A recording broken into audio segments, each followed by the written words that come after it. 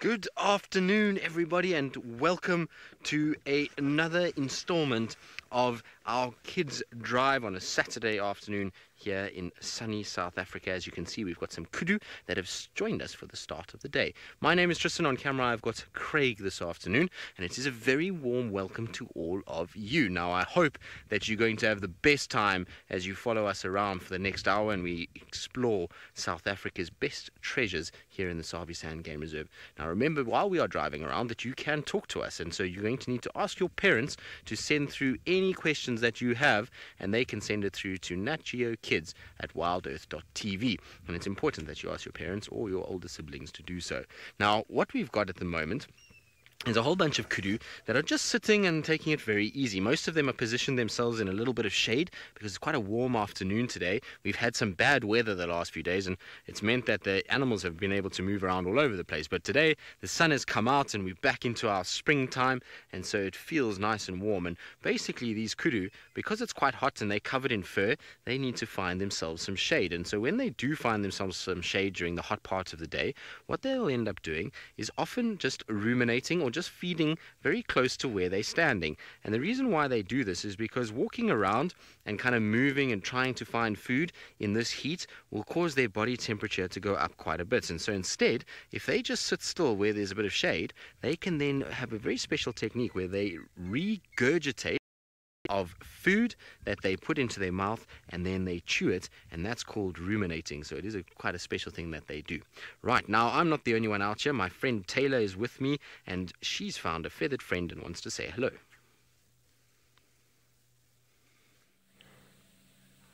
We have found a feathered friend who'd like to say hello this afternoon, and it is a bird called a hornbill. Now, that is a red-billed hornbill. I'm not a red-billed hornbill. Well, my name is Taylor and I am a human, and David is also on camera with us, and he's also a human. Now, it's great to have all of you kids watching us today, and I hope that you're ready to, well, ask us some questions. So remember to ask your parents, who will do all the typing for you, and they'll send them on through. So, look at this bird. It's pecking in the poop. And the reason why it's doing that is because it's looking for something to eat. Now, that is rhinoceros poop, actually which is quite cool because you don't get to see rhinos very often. And I don't know what's in there. There could be little beetles, there could be some flies, there could be termites. Looks like there's lots of flies buzzing around its head. So it's trying to eat all the little insects that have gone into that dung so that they can feed. So there's lots of animals out here that like to eat poop, especially the insects. And this great stuff because it's not really all digested. You see that? You can see some bits and pieces of grass still.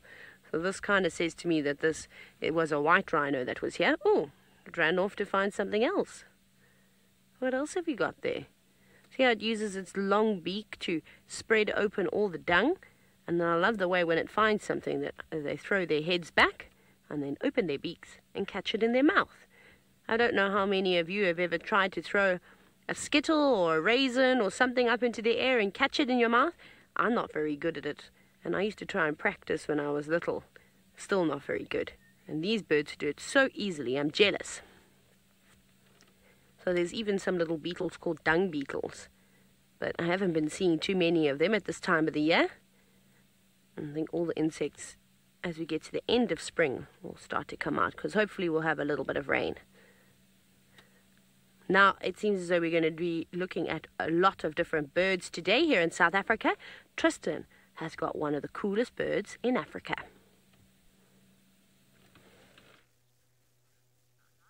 We do have one of the coolest birds on our kudu, so our kudus are still sitting still, but you might find every now and then there's a little bit of movement on the kudu, and that's a type of bird that often is on the animals. It's called a red-billed oxpecker, and oxpeckers are incredibly important for the kudu because they help to manage the parasites that the kudu has. So things like ticks that get onto this kudu, these little oxpeckers will bound up and down, and they'll be able to grab on those kind of ticks and feed off them, and they keep the kudu's coat nice and clean. They'll also get little parasites out of the ears, around the noses, and so it really is a helpful little bird to have around. And you can see that's why the kudu is pretty tolerant of them. If it was something that hurt the kudu, you would find the kudu would not just sit still. It would try and move around and kind of shake them off. Every now and then, if they get too close to the eyes, you'll find the kudu will shake its head. But otherwise, it's quite happy for these oxpeckers just to go up and down and clean them off. The end of the day, they need to stay nice and clean. And so if they've got a bird that does it for them, well, that's very, very helpful. Now, what's interesting is that particular kudu, you can see it looks almost happy, doesn't it, about the kind of cleaning that's going on. Except when they go deep into the ear, then the kudu doesn't really like it too much. You'll find then it will kind of shake it off and try to get them out of those ears. And talking about those ears, kudus really do have big ears in relation to the size of their head. We often see a lot of animals out here, and, and each animal will have different type of sense that will allow it to survive out here. And so kudus, because of where they generally like to hang around, they like to be in the thick, dense areas where there's lots of trees.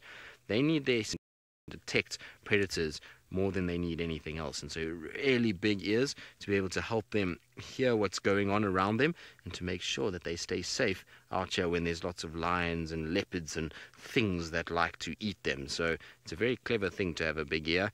It also helps a little bit with losing heat. The bigger the ear, the more that the heat can be given off through the wind blowing over that ear and cooling the blood. And so, it just helps to manage the heat a little bit as well. Now, what's interesting is it looks like this kudu, all the, the two kudu on the left hand side that you can see, the two females. They both look like they're pregnant. There actually is a little male that's coming now as well. But the one closest to us, right, there's the male at the moment between the two females. And so that one on the right hand side and the one closest to us are both look like they have little babies inside. And so generally we find with the antelope species is that they will give birth to their babies in the summer months here in South Africa. And our summer is not like the summer in the northern hemisphere over June, July, and that time. Our summer is actually November, December, January, February. And so they will be giving birth around those months. And that's because when that ha- when our summer comes, all the rain comes, and that means this whole area gets green and the trees all get leaves. You can see at the moment the trees are completely lacking in leaves. They don't have any sign of greenery, and it's very difficult for the animals. And so they wouldn't want to have a baby baby now where the animals or the baby struggles to find food. It's better to have the babies during times where there's lots of vegetation because then those babies can find food and also they can hide a lot better away from predators. So you'll find that most of our antelope, uh, our hoofed animals like the kudu and, and all the others out here, will probably be pregnant at this time or have little babies inside them and they'll be giving birth from about November is normally when we start to see it all the way through until about March, is April, is when we last see the last ones of these kind of antelopes. So it should be a good uh, kind of time ahead. Both prey and predators will eagerly await the rains that come because the predators often know that when rains are arrive, it's right time of this year when they start to have babies, and, and much easier for them to hunt the babies than it is these big adults. And you can see the little male at the moment, his horns are still tiny if like if you can believe it. Uh, kudus have probably one of the most incredible sets of horns out of any of the antelope that we get out here. Horns that start to kind of come out like this male here, and then they start to twist and turn, and they can get as big as six foot uh, off of that kudu's head, which is very, very, very big. It's about the same size as what I am, and funny enough, you can actually use a kudu's horns to age them. So here we go. I'll show you now. A one of our viewers who watches the show regularly, Project Alpha, he's put together a really nice sort of chart on kudus and their ages. Now I do apologize if you can't see very nicely, but basically you can see the horns on these kudus and it tells you roughly how old they are. So the kudu that we're looking at is probably fits into this category, which is about 15 months old.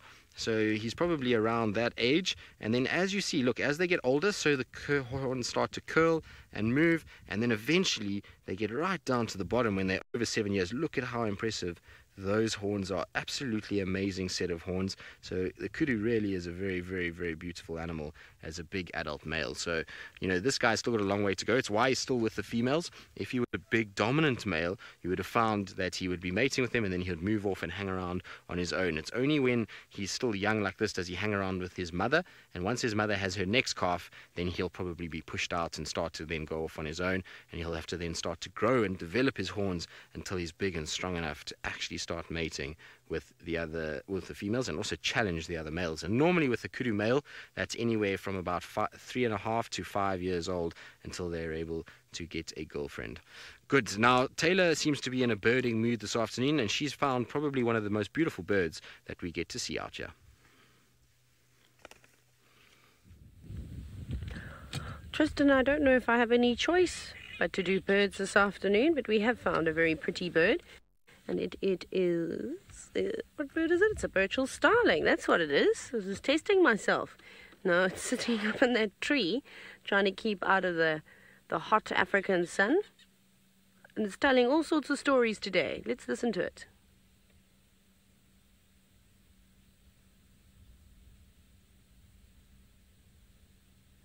No, of course it's not going to say anything. See? It's the storyteller today, as it also cleans its feathers.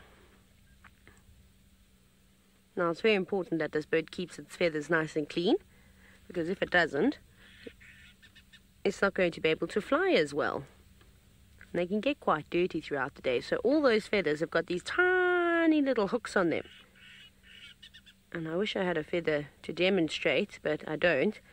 But those hooks come undone and when that bird rubs, runs its beak along the feathers, excuse me, a bird was not impressed with my version of his story. He runs his, runs his beak through the feathers, and then all those little hooks line up again, and then it's fine. And then they can fly, and then it's all nice and neat. excuse me, everybody. Sorry. I've got the sneezes. Yes, many, many sneezes today. But it is just there. It's, I wonder where its friends are. Normally you see these birds in groups. I think it's lost. Or this one just doesn't have any friends. It's going to have to work a little bit harder if it wants to find some other bird friends.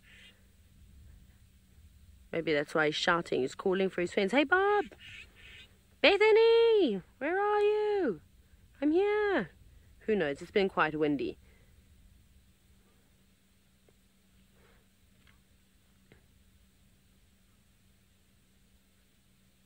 Ah, hello, Lily. Now, you've said that the last of the swallows have left, did you say south of England or New England? I didn't quite hear that, Louise. Sorry, I'm going, my ears are very blocked.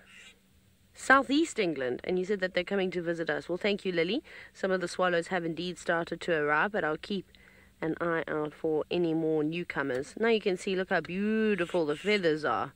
Look at all those different colors blues and pinks, and it even looks like there's a little bit of gold on this bird today with the way that the light is working those feathers. Isn't that beautiful? They're very, very pretty birds. Now, that is called iridescence, they have on their feathers. So, depending where they are, there'll be different colors in the sun. Normally, they're a beautiful bluish, and they do have a lot of purple on them. But you know what I saw a little bit earlier, and that's where we're headed to now. I promise I'm not just going to show you all birds the entire afternoon, because I saw an elephant a little while ago. So we're going to try and find that elephant. We're going to head down that, in that direction. direction. Now, Tristan, I know, is looking for a leopard by the name of Hosana, and because it's been a hot day, I think it's good that he's checking all the watering holes.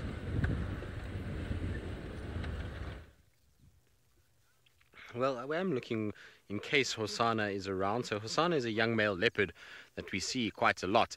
I'm sure maybe some of you have even seen him before um, on our show. And so he was south of our boundary this morning, and he was on a impala kill that was almost finished. And so normally when a leopard finishes its meal, it will make its way to a water point to come and have a drink.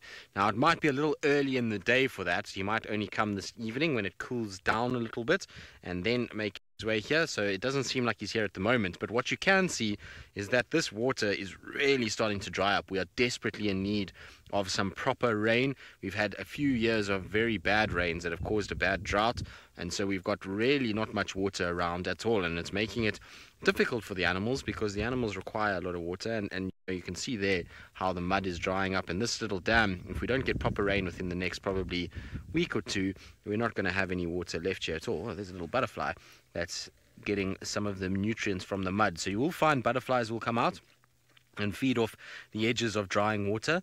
They will find all kinds of minerals and salts that are stuck on the mud itself, and they actually then will drink from there and uh, uh, kind of absorb some of those minerals that are otherwise quite tricky for them to get. You can also see there's a lot of algae in that water, so it's not the freshest of water and not water really that the animals want to drink.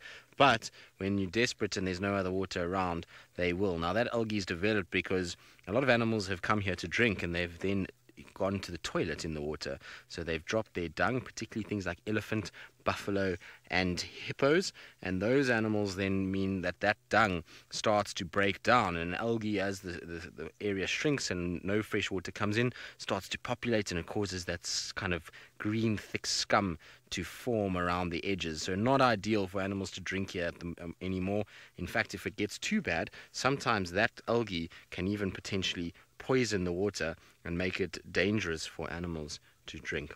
But nothing here at the moment. It seems as though everything is kind of just taking it easy in the shade still. It's still a warm part of the day, and so we're going to try and just check around. I'm going to go past roughly where our leopard was, and maybe we get lucky and we can actually see a glimpse of him somewhere. I think, though, given he's going to have a big full tummy, is that he's probably going to be quite sleepy and he's going to be under a shady tree somewhere having a really good nap because you know when a leopard is full and and there's no reason to move after a kill then he'll wait rather until it gets a little bit cooler and darker before he decides to move around. So I don't think we're going to see our male leopard just yet maybe a little bit later as that sun starts to come down a little bit and the wind starts to cool the day then we might get lucky and have a look. It's important though when driving to these areas just to stop and check at each of the pathways because sometimes you'll find tracks for a leopard moving around. And actually funny enough this morning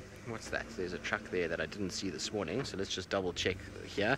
There's pathways that run to this water hole that sometimes will have tracks on them. No that's not a track that we are looking for. It was just a couple impalas stood in a funny way and it made it look almost like a paw, but it's just impala tracks, which is a type of antelope that we get out here. No, nothing there.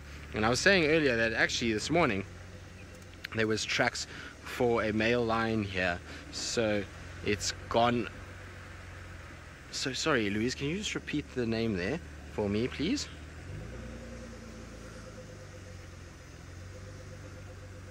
Ah, Beck, yes, no, that water is not suitable for Hosanna. Hosanna needs much better water than that. Now, I was saying earlier that we did have lion tracks here this morning. Unfortunately, this lion went very, very far away, way beyond where we can actually go and see him. But yet, his tracks are around, and so I will show you them quickly. You can just see them on the right side of the road here, coming up and along that pathway. So he went towards the water. There is his track there. You can see he's got a very kind of deep back lobe area. So on the left side of that picture is where the back lobes are. That's the kind of back of his foot, and then his toes are on the front side. Now, the track itself looks quite nice because it's smooth and the sand around it is all pitted with rain, but uh, rain was about two days ago, so you can't read too much into that. And so we know that that track was probably from last night, early last night, because when I followed the track, there was actually tracks for little um, nighttime creatures on top of it. So, you know, if you see something like a genet or a civet track on top of a lion track, you know it's early in the night that they walked. But what I'm going to do is show you a better picture Uh, on a book so that you can actually see what we're really talking about and how we tell the difference between a male and a female. Now, if you look here, this top track here is a female. Now, these are very small tracks for a lion, obviously not real size tracks. A real size lion track would be, as you saw on the ground, very, very big. But these are the three lobes that I'm talking about over here. You also see that their toes are quite spread apart very big oval shaped toes and you see no claws that mark on the front. So a nice clean track. But when you get a female lion has a very rounded edge a female lion has this kind of line that comes up and the track down here comes up. And if you take a line from the edge of that track and you come across and a line from the bottom here and you come across it makes a cross there. Whereas if you come to a male line track which is the one lower down you'll see that on the edges if you follow the the line around it actually forms a nice neat circle on the edges of those tracks. And so that's how you can tell a male and a female apart. Also, the male's toes generally are a lot bigger, and the actual size of the track is much larger in a male than it is in a female. But a really nice example of kind of tracks. And so this poor lion, unfortunately, like I say, he walked a long way last night. I don't know where he was off to. But anyway, we're going to carry on. We're going to try to see maybe our leopard did come this way. While we check, let's send you across to Taylor with one of the tallest animals in Africa. Look at what we've got. It is a beautiful giraffe just hiding behind all the trees this afternoon. But that's what giraffes like to do, is because they like to eat leaves. So it makes sense that he's moving around trying to find as many, many leaves as he can because there aren't very many tasty ones around at the moment. In the next few weeks, there's going to be lots of new green leaves, and all the animals that eat leaves, we call them browsers, will be very, very, very happy. But how cool is that that he's using his tongue? He's been, look at it, stretching it all the way up. Looks like he is trying to eat some new leaves that were starting to grow on that tree. Although they don't stand a chance against that giraffe, he'll eat them all up. Now, the reason that I can tell that he is a boy is if you look very carefully, hopefully he'll. No, no, he's being rude. Now he's hiding away. We'll see if he turns to the left a little bit. Let me go back. Oh, no. no. I think he's come out into the open now. Oh, there we go. So you just got to be a little bit patient. See those things on top of his head? Those aren't horns.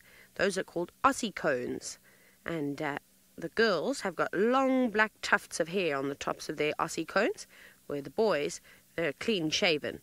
So you can see it's almost like they're bald just on the top. So that's an easy way to tell the difference. And the boys get much bigger than the girls. They get much bigger necks. They weigh more.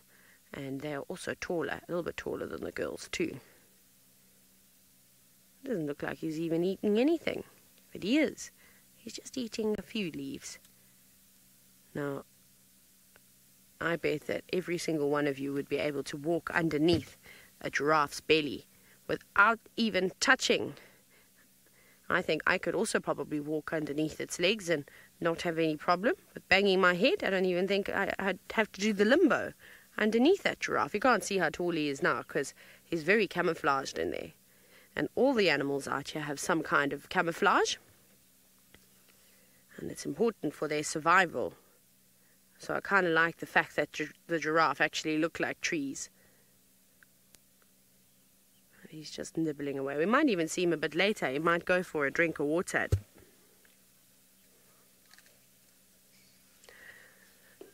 Parth, I can't say her name. Louise, please. Parthix. Parthix? Parthix. Oh, car. Carsick. Carsick. There we go. No, we heard. I heard something else. So there were quite a few recently just narrowed it down. But the two types of giraffe that you can see on Safari Live or while watching us is this one, which is the southern giraffe. And then if we were, unfortunately, we're not out in Kenya today, but if we were, you'd also see the Maasai giraffe. And the Maasai giraffe is the biggest of all the giraffe species, which is pretty, pretty cool. But um, the, the southern giraffe is, is the most common giraffe throughout Africa. They've got the, the widest distribution, so you see them in lots and lots of different places. So most of the time, if you're going to see one, you'll see one of these guys. And the girls are not quite as dark as the boys, but that goes for all the giraffes, all the different types of giraffes. We're going to carry on because it's getting difficult to see him now. Oh, I've got a paintbrush in my hand because I was cleaning. Look, how cool is that? Very nice. Get rid of all the dust. Okay, let me put my paintbrush back.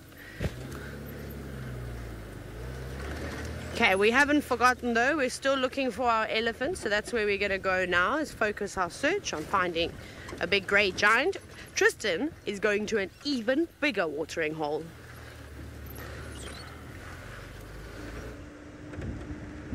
I am heading to a bigger one. That one that we were at now is just a dire, dire situation. There's really not much going on there, and it's about to dry up. So we're going to head to the biggest waterhole that we have in the entire Sabi Sands Game Reserve, which is where we are.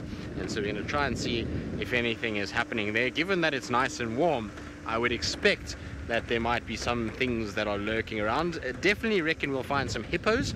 Maybe we'll get lucky with a crocodile and maybe anything else like eddies or some other animals coming to drink.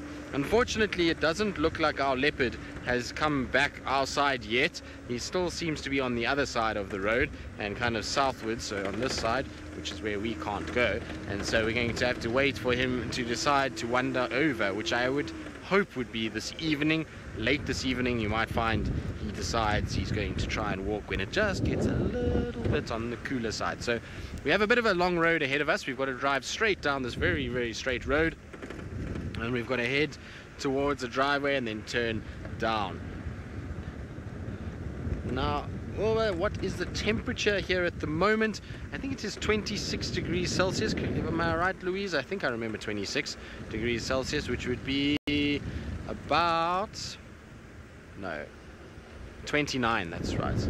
29 and 85 Fahrenheit. Thank you, Louise. So Louise helps us out with our weather because as guides we get a little bit confused about these things. So I knew it had a kind of six-like figure in there. It just was an upside down six. Now, before we actually head on to this waterhole, sorry, I just want to check here quickly. This morning I had a very, very brief view of a very special animal called a genet that was living in its home and we call this genet Janet Jackson after a famous singer. And so we're going to try and see if Janet Jackson is going to give us a view today. There isn't a Janet just yet, but what I can see is on the sort of V of the tree, Craig, can you see there's a lizard there that is going up the tree? So go straight in, Craig. There we go. You see the little lizard on the edge of the bark on the left hand side of the tree, on the right side of that left stump, if that makes any sense. So straight in the middle there, Craig, there it is. There is our little skink by the looks of things.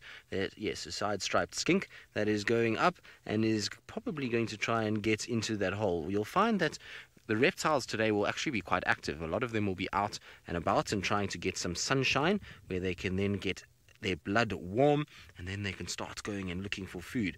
And a skink of this size would be looking for all kinds of little insects that might be on this dead tree. So ants um, would be probably one of the, the targets, but it would have to be very careful because the animal that I was talking about, the genet, that is living inside here in this tree, will eat that little skink very quickly if the skink goes too close. And so it'll have to be a little careful, that skink. Don't go inside the tree because otherwise you're going to get eaten. You must stay on the outside. Yes, it's listening to us at the moment. So just below where the skink is sitting, there's a little hole in the tree, and that's where Janet Jackson actually lives. Now, Monique, you say cute little skink. It is a cute little lizard, isn't it? Very, very common out here. We see lots and lots and lots of them. They tend to hang around all over the place, and they like to live around there.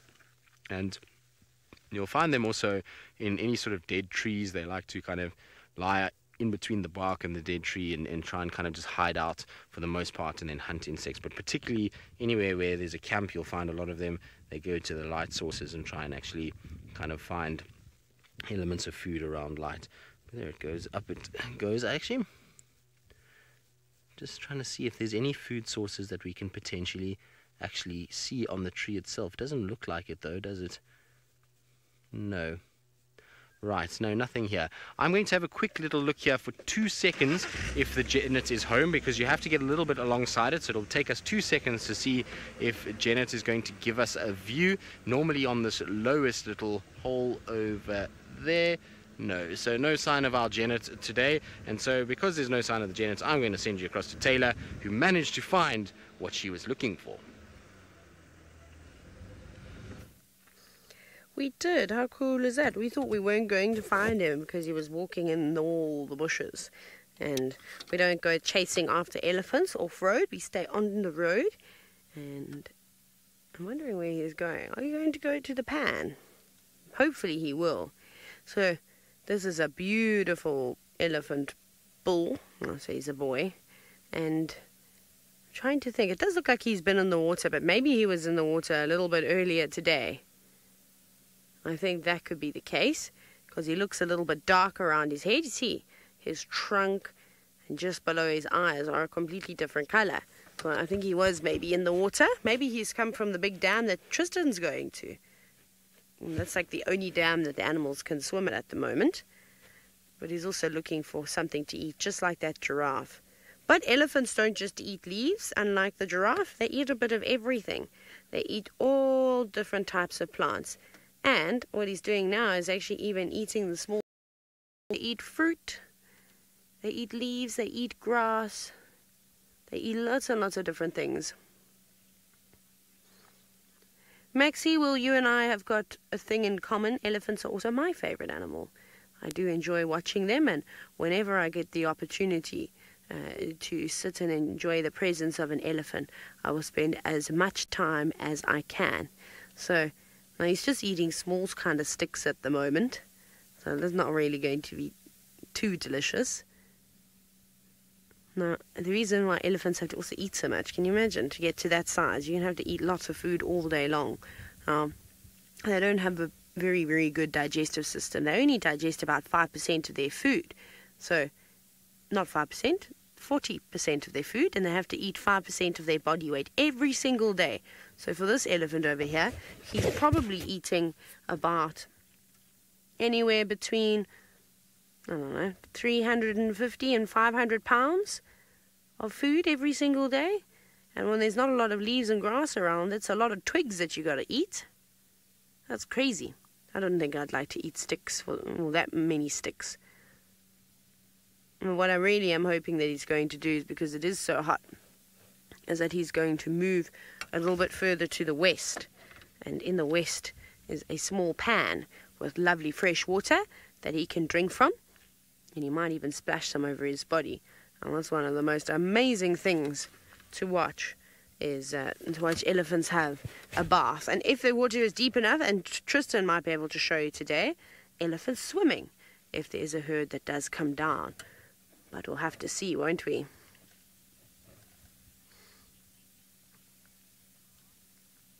Monique, I agree with you.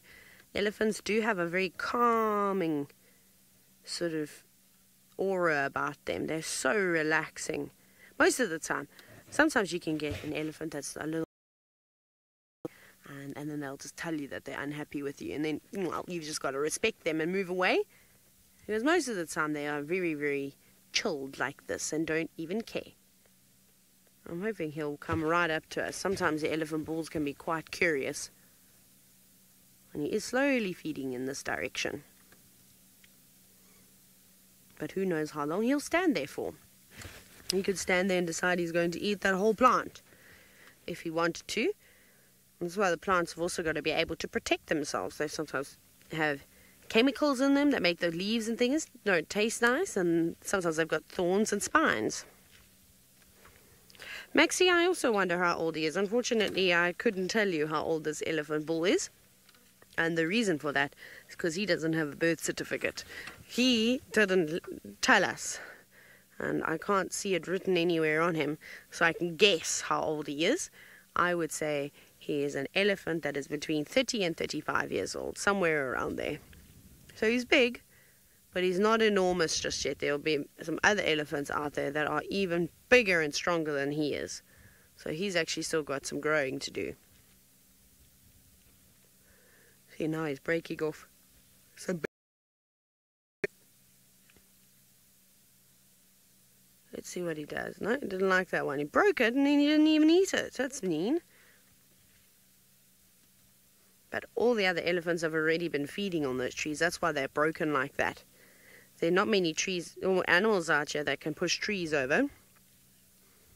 But a big old elephant can do that with absolute ease.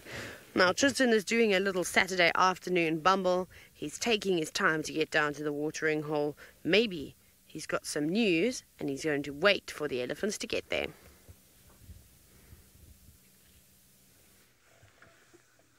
Well, no, not that. I am taking my time a little bit. I've been searching very carefully just to make sure nothing has been creeping around during the day that we miss the signs of their footprints. But what we have found is two baby waterbuck that are busy walking and I think that these two are heading towards the dam that we're going to because they're walking in the same direction as we're traveling.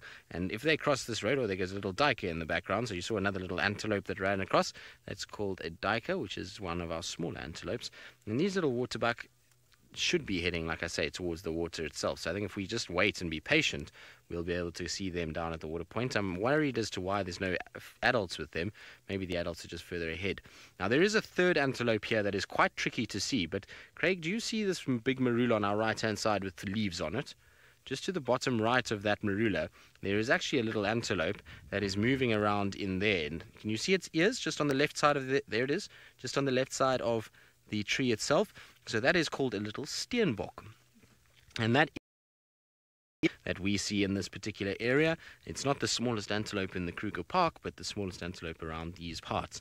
And that is a fully grown big male. So he's a daddy antelope and he's still tiny in comparison to the rest. He's very, very, very small. But you also notice big ears, little sharp horns that they'll use to fight one another in order to establish territory and to be able to get themselves females.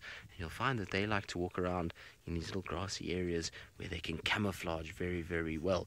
And I'm pretty sure that this guy is trying to find some shade just to try and rest in. It's so hot out here that I doubt he wants to kind of get out of the, the shade and really doesn't want to move too far. Interesting though that this particular animal these little steenbok, they probably are the best animals for dry periods. Whereas the waterbuck in the background, as you see it disappearing on the top right of your screen, those waterbuck there, they're not in any way good with dry conditions. They need water to survive, as the name suggests.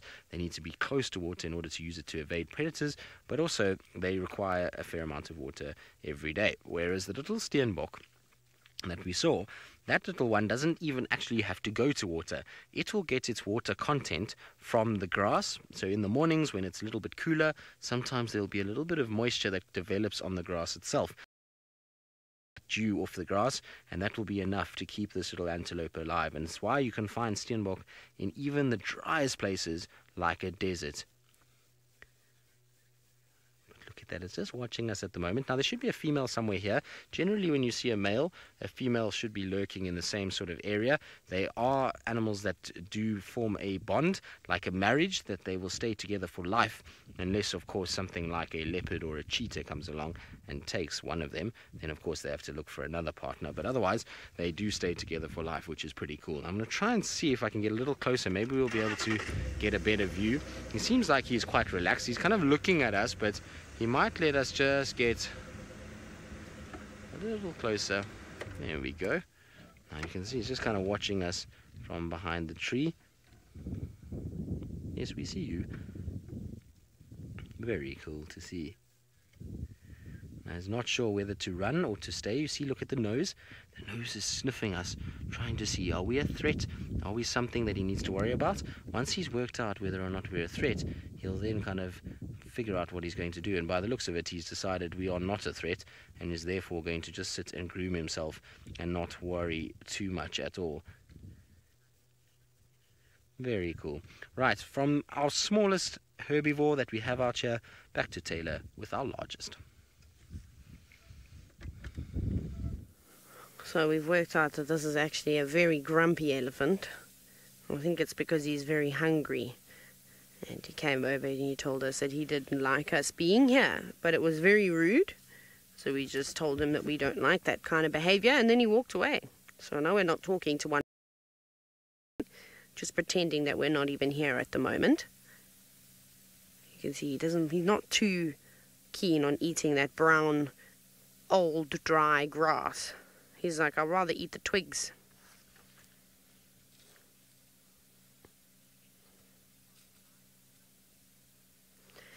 Siddharth, yes, I do think the elephants have a hard time in the dry season, but the, I suppose they're kind of used to it, you know, especially the elephants that live up in this area.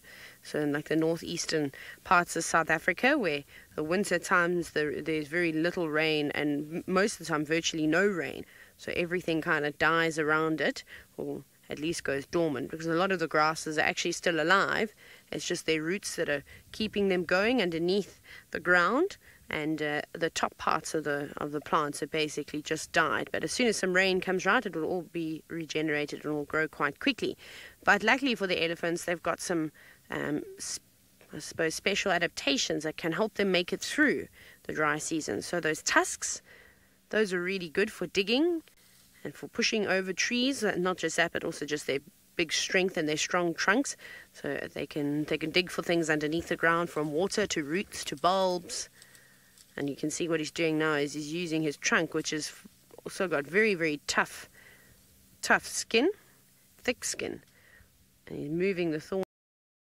Try and see if there's any nice green grass that's underneath those plants. Here, how clever is that? But I don't think he's winning today. See, he's moving right on in there. You can hear all that stuff being pulled around. So he eats lots of different things, and all the different plants out here have got different types of nutrients and proteins and carbohydrates and all those types of things. So it's important that he has a varied diet. He eats a, a lot of different things. But at different times of the year, they'll eat different things too. See, look how strong he is. Clever, hey? He's picking that up and now he's moving it right out of the way. So if he goes and he feeds along the drainage lines, which he's going to now, he might get lucky and find some jackalberry fruit, which is so tasty and filled with sugar. I think he'll be happy to have that extra energy. Otherwise, there's not really much. And then the knob thorns are starting to get their leaves, and so are the marula trees. Ali, I don't think elephants are necessarily afraid, especially the big elephants, but they but they're careful. So of course they'll be nervous of lions and leopards and wild dogs and hyenas. So the carnivores, they don't like them. Not that they are at risk, especially a big, fully grown elephant, but their babies can can definitely be eaten by those predators. So they'll try and chase them away. They just don't like them around. I've even seen uh, lions trying to catch a, a buffalo before, and then an elephant came in and chased the lions away and saved the buffalo. So they seem to try and help the an- other animals when they can.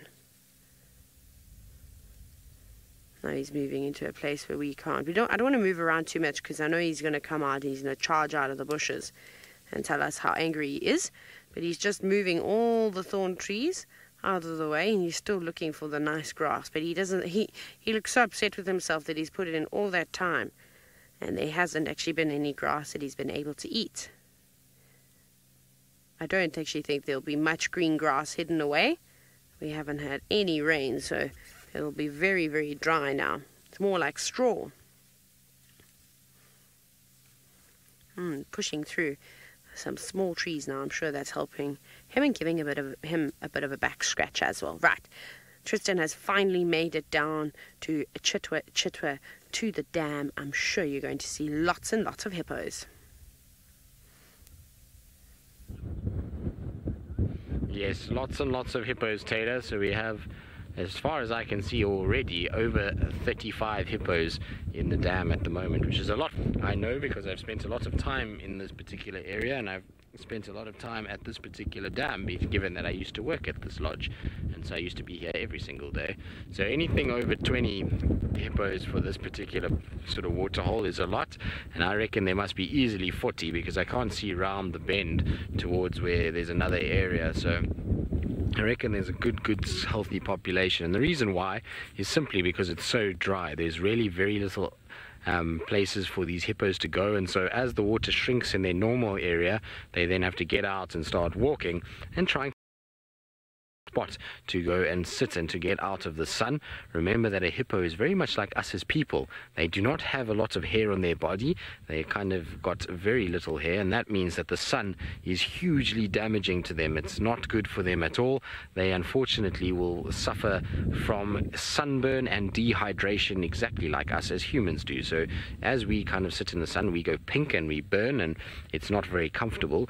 The same will happen with a hippo, and that's why they try and find water during the day. It's just to sink their body in, keeps their, their skin hydrated, and it also allows them just to keep out of the sun a little bit more.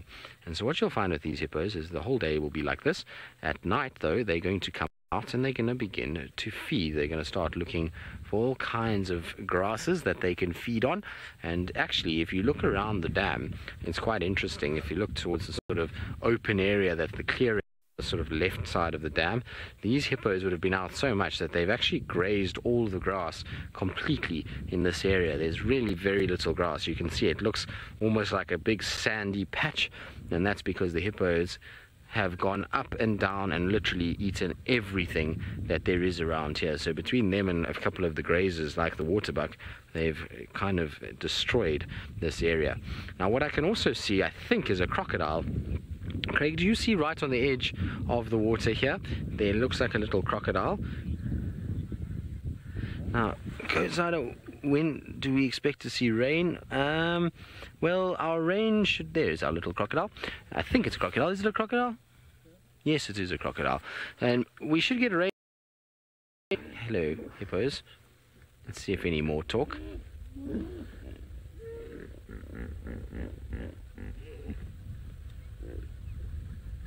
So that's them just having a little chat to themselves. Now, the rain should theoretically start coming in we should get a, a, decent rain. Normally in October we get a, a, fairly good rain. That just starts the growth process starts to get everything a little bit greener. Um, the trees start to get their leaves. But the majority of our rainfall lately in the last couple of years has fallen between sort of end of January and late um, April. That's generally where we get most of our rain at the moment. It used to be actually two different seasons. We used to get a rain period in September October. Then it would be quite hot and dry and then it would kind of more rain would come January February March. But it's changed a little bit. It seems as though things have shifted slightly, and so we get more rain towards the sort of beginning of the year rather than the end of the year. And I can say that if we do not get good rains in the next month, it's going to be a very trying time for a lot of animals because what's happening at the moment is the heat is starting to soar, and the temperatures out here are going to get hotter and hotter, and that means things like grass and leaves are going to get burnt by the sun because there's no moisture in them. There's no water to rejuvenate those plants, and that means that the animals really struggle to find good food. On top of it, we're also going to get lack of water for animals to drink and that makes it very tricky for the animals to survive and so we do need a good rain to try and kind of get everything sorted out it's vitally important for this ecosystem that we get rain and so hopefully this year will be a much better rain there you can see one of the hippos that is just turning around lots of Egyptian geese in the background as well they are always around Chitwa Dam. They find themselves on the banks here and they'll kind of move around looking for bits of food that they can find along the shore of the dam itself. Now, I wonder where that hippo is off to. Maybe deeper water. It's decided it's had a good sleep and is now going to move deeper to go and cool off a little bit. Hippos really do have the best life when it's this hot weather that we get in the summer months because they can go into the nice cool water and stay nice and cool trying just to find some shade. And I think they all agree with me at this stage. I love that sound. It's the best sound. Right, so we're going to sit with these guys a little bit longer. Let's see if we should hopefully get some sort of signs of animals drinking. And so while we do that, let's send you back across to Taylor and her big pachyderm as he searches for food. Well, we're waiting patiently because we're hoping that they're going to go down to one of the pans, but they're still a little way away, so it might take them some time to get down there, but I think it'll be worth it in the end because I think we could get splashed with water by the elephants. How does that sound, Darby? Wouldn't you think it would be nice to have a pool party with some elephants? I think so. So this is another elephant that's arrived. I wonder if I put my foot on the clutch if we'll roll. Now Darby and I are doing the shake. Nope. We're to have to start the car. we tried to bounce the car around a little bit to see if we could get it to roll forward, but we couldn't. There we go. We'll have a look at him. So this is a much younger elephant than our grumpy friend, who is now further and further into the bushes. So they're all slowly starting to meet here now. And he's just gobbling away. He was doing the same thing as the other bull earlier. He was picking up all the thorny trees looking for nice grass. Tracy, you know, I reckon all the animals out here we have to be very, very careful with because at any one minute, they, I suppose they could become endangered. Um, elephants and rhinos have, of course, been fighting the battle against poaching for for hundreds and hundreds of years. So one minute it's the rhinos that are in you know, under threat, and, and that's what the case is at the moment. And then the next minute, the rhino population stabilizes, and then it's the elephants that are under threat. And this is kind of cycle of them sort of swapping positions has been going on for a very, very long time. And uh, at the moment, the elephants are doing okay. There's actually quite a few elephants in this area. Some people have even said that they're starting to get too many elephants in the Greater Kruger National Park, which can become a problem. So there's too many animals. Obviously, they all need to eat food, and if there's not enough food to sustain them, you'll kind of see what's happened at Chitwa Dam, for example, but you'll see that on a huge scale where there'll just be kind of nothing left. So the elephants are doing, they're doing all right, but we have to watch their their populations. I mean, I'm sure there were hun- probably hundreds and hundreds of thousands of elephants, maybe even millions that once roamed the earth. But unfortunately, we are nowhere near those numbers anymore. But the African elephant seems to be doing better than the rhinos are doing at the moment. So we just have to watch them and make sure we protect all the animals. Hmm. Marshall, I'm so glad that we could have, where we helped you in making, or having the elephant, sorry, as your most favorite animal. They are amazing to watch. I, am overdue for a sighting with a breeding herd and lots of babies, so I'm hoping in the next little while we will be able to see that because I miss it so much. And the elephants of the Sabi Sand too are just so incredible. Look at that elephant's tail, swishing it around quite a bit, hey? There must be lots of biting flies around that it's having to use that as a fly swatter. Now, leopards and lions and cheetah, they all use their tails to help them balance, especially leopards and especially uh, the cheetah. Uh, elephants don't use their tails to balance though because they don't have to worry about trying to climb trees. And they've, of course, got four legs, so that normally keeps them on the ground. But that does come in handy as a fly swatter.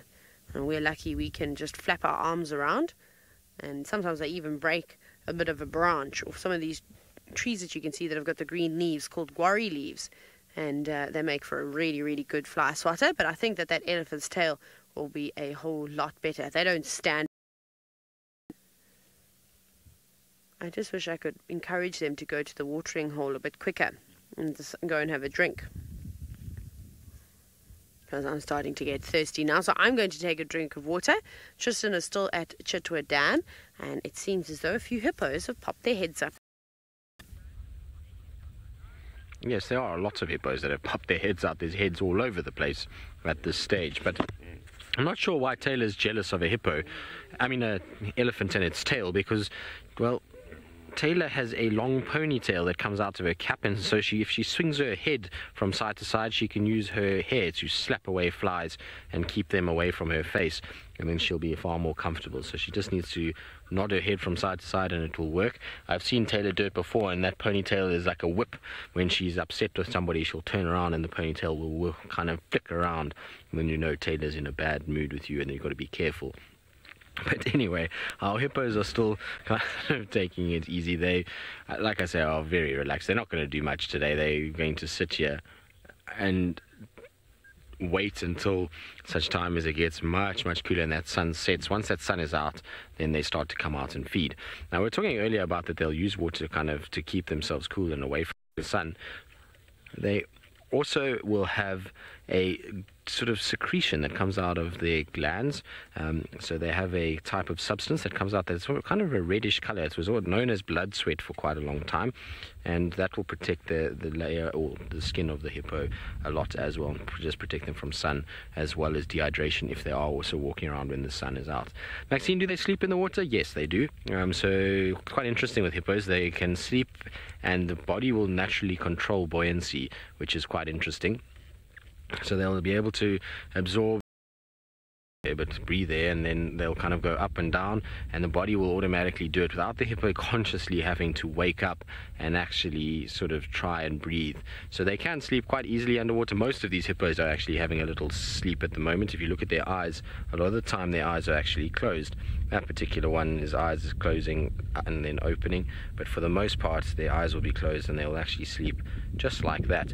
A lot of them are also lying in a very shallow area. It looks like deep water, but it's quite shallow, and they're all sitting at the moment. So they'll sit and they'll find a little place where their head can rest, and then they can also just sleep just like that. You'll find sometimes the babies will sleep using the mothers as a or siblings as a little raft where they'll put their heads on and they'll kind of use the back of the other one as a way to keep their head above water. So they can sleep very easily in water, and they do. They spend a large majority of their time kind of sleeping around these areas, and so it is. A, well, an easy thing for them to do, and it makes sense. You know, if they are so susceptible to sun and dehydration, it would make no sense if they have to come out on land to sleep during the course of the day, or to have to stay awake for 12 nothing, um, it would really be an incredible waste of time. So it's good for them to be able to kind of utilize that time to sleep and then at night when they're out and the sun's away that they can actually go and feed and spend a vast majority of their time moving around rather than just sitting and sleeping because it's now kind of cooler. So much better system for a hippo. A well kind of worked plan.